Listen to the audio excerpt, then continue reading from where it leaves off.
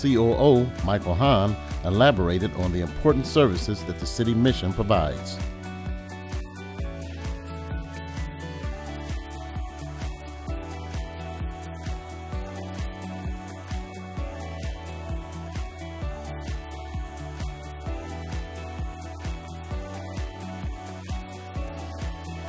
The ADAMHS Board is a nonprofit organization and volunteerism plays a huge part.